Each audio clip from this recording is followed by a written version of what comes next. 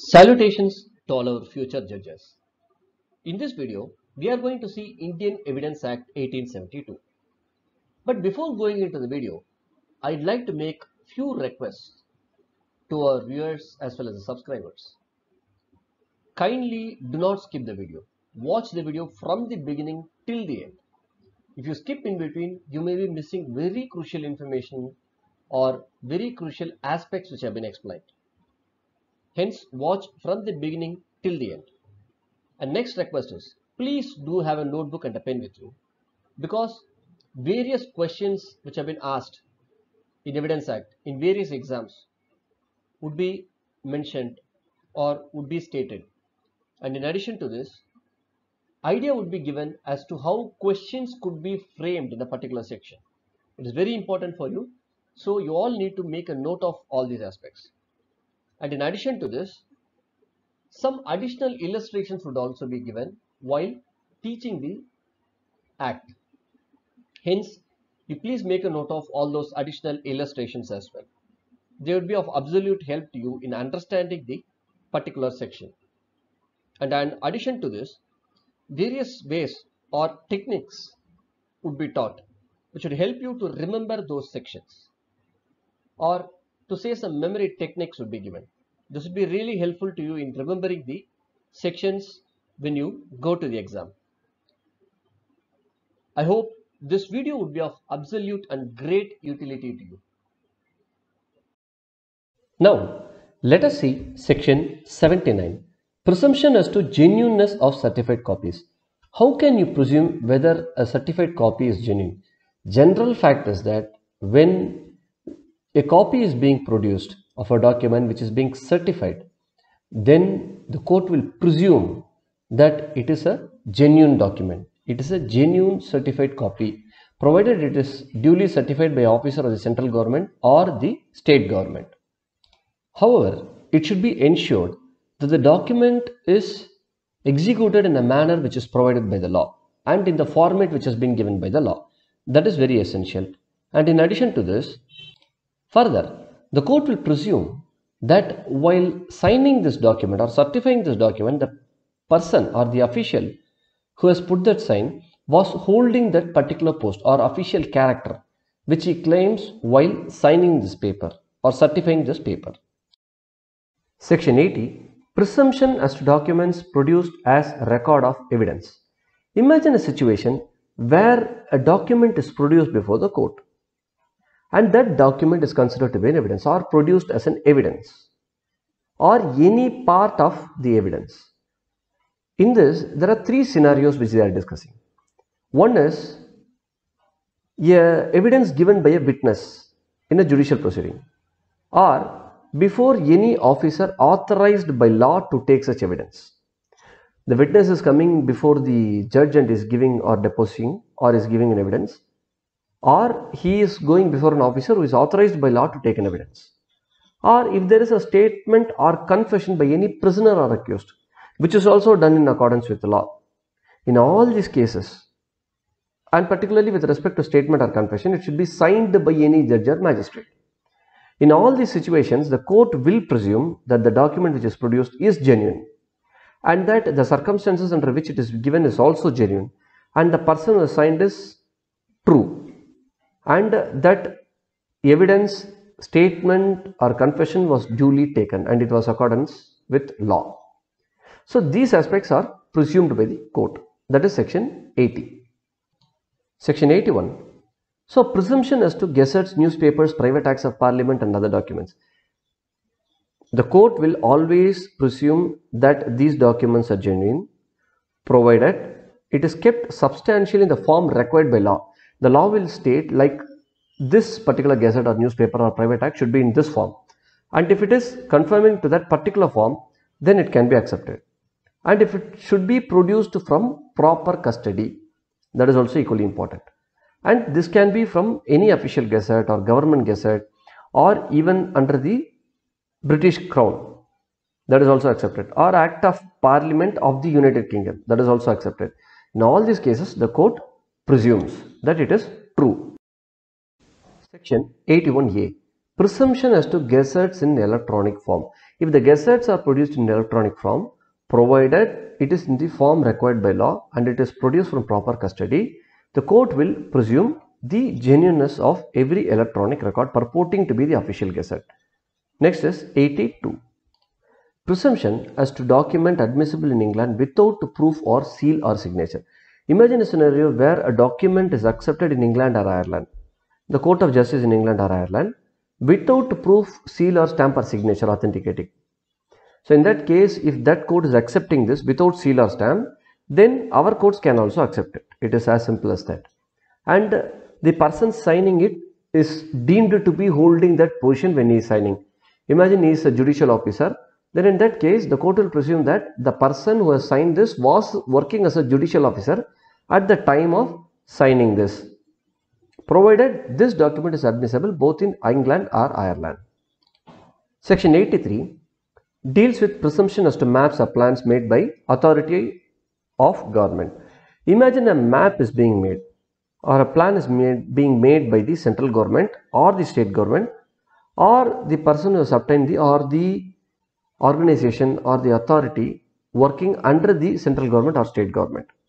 So in that map or plan, everything is deemed to be accepted and everything is considered to be accurate. However, the very important thing is if that map or plan is made for any specific purpose. For example, if a map is being prepared for a case, for a litigation, in that case, it has to be proved that it, that particular map is accurate. If it is a general map or a general plan, that is assumed to be accurate. But if it is for a specific purpose, then it should be proved that the map is or plan is accurate. Now let us move to section 84. Presumption as to collection of laws and reports of decisions. Under this particular section 84, the court will always presume that the book which is printed or published by the government with respect to the laws of that country or the reports of the decisions of the courts of the country published by government is deemed to be genuine. Section 85 Presumption as to power of attorney.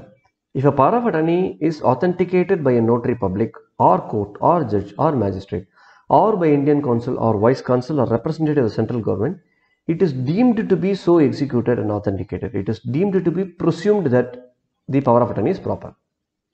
Section 85A Presumption as to electronic agreements. If there is an electronic agreement, it is deemed that the electronic signature of the parties was so concluded by affixing the electronic signature of the parties. You can understand this in a very simple manner. If electronic signature is put, it is deemed that the party has put that electronic signature. Court will presume so with respect to electronic agreements. Section 85B deals with presumption as to electronic records and electronic signatures.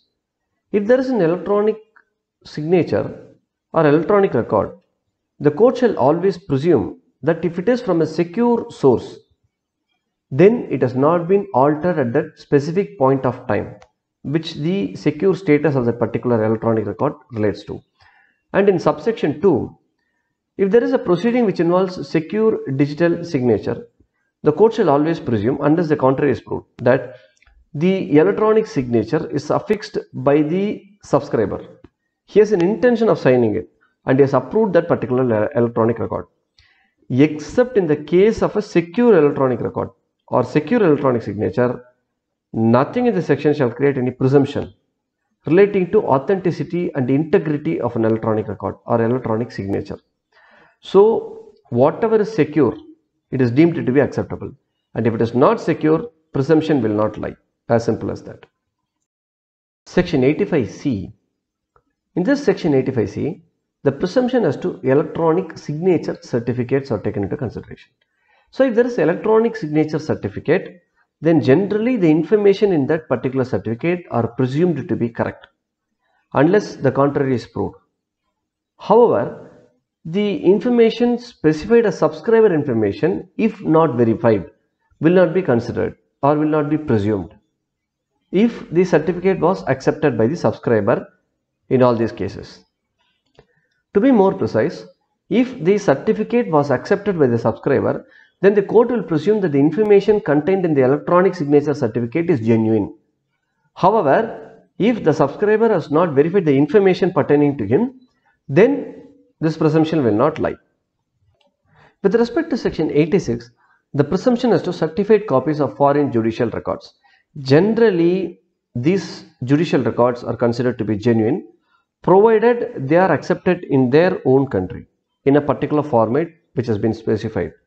And uh, there would be some stipulation or some rules or regulations which are provided for certification of copies of those judicial records. And if those ideas or if those rules are being followed, in that case the presumption will lie that the document is kind of genuine. And if there is an officer who is a political agent living in a territory or place which is not part of India or her majesty's dominions, in that case that particular person is deemed to be a representative of the central government or the person acting on behalf of the central government. As simple as that. Now let us move to section 87 presumption as to books maps and charts. In this section 87 if the court is referring any book for any information on public or general interest. One. And uh, the court is referring to any published map or chart. The court is checking all those books and the maps and charts.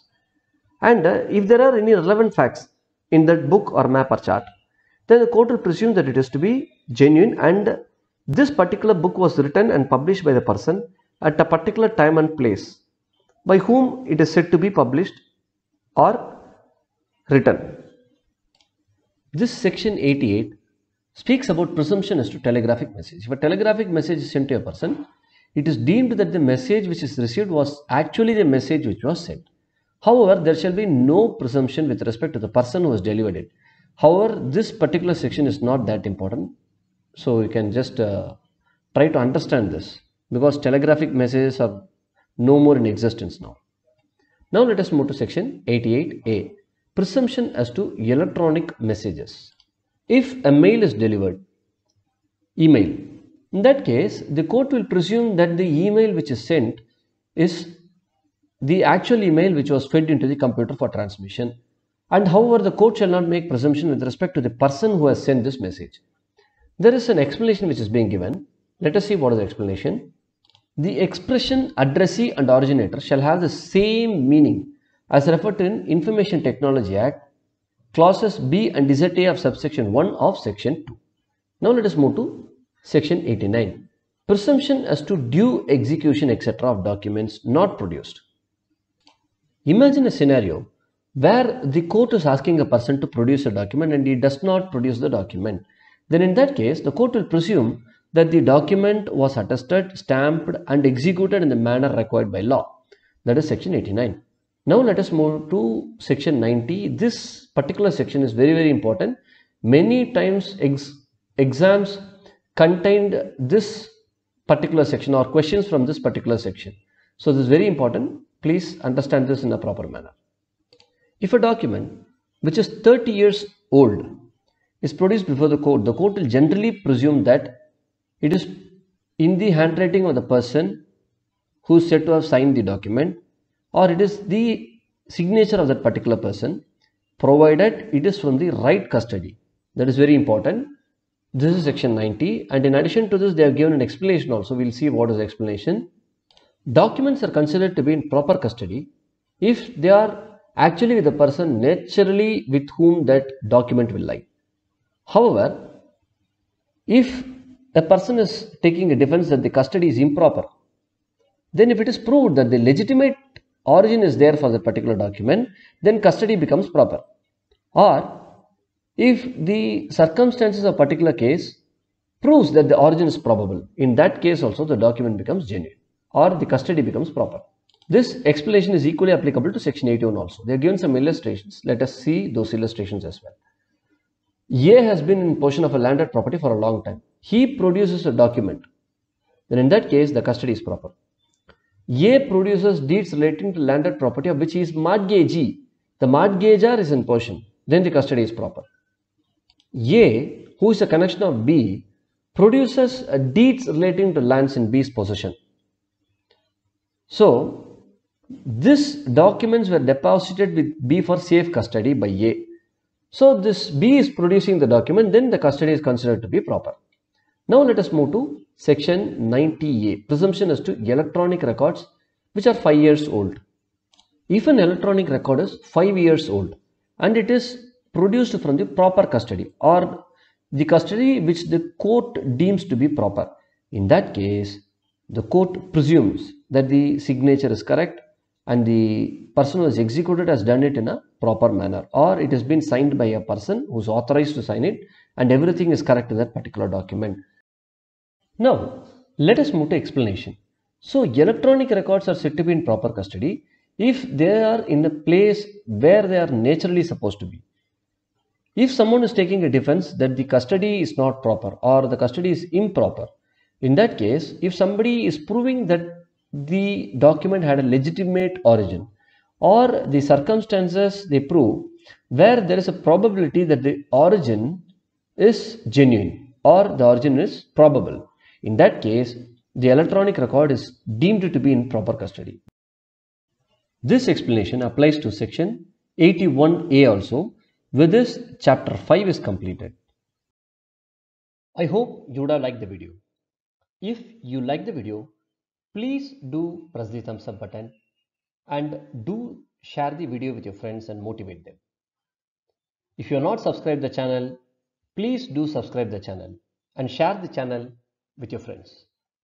If you feel that I've left something in this video or you want me to change the way in explanations are given for the sections, please do let me know by way of comments. Let us join hands together and contribute for a learned society. Thank you.